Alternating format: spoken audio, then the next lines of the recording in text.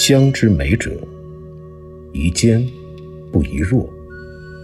弱者有烟而无气，坚则反噬。盖气者，香之浑；烟者，香之魄。浑轻而魄浊，浑轻而魄重。善焚香者，取其气，弗取其烟；取其魂，弗取其魄，故常坚而不弱。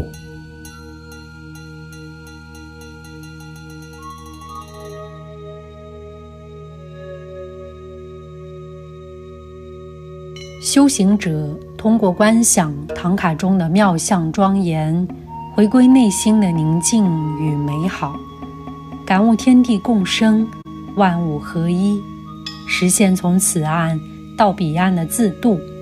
这是眼见色而明心的开悟之法。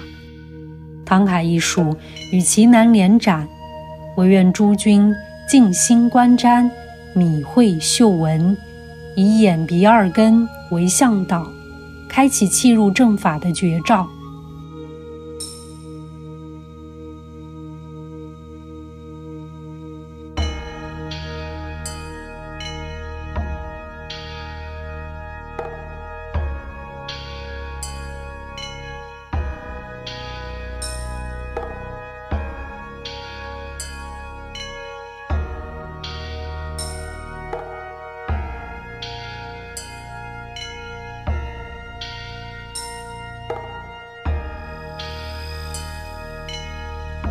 明代账务志有云：“炉中不可断火，既不焚香，使其常温，方有益趣。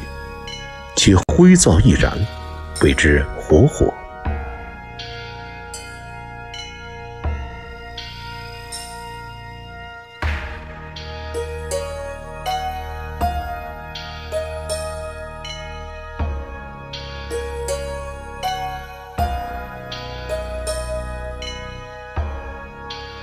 隔火，杀片第一，定片次之，玉片又次之，金银不可用。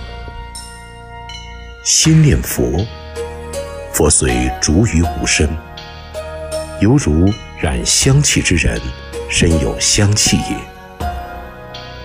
一次进入身心的圆通之旅，亦必是一场香光庄严的觉悟之心。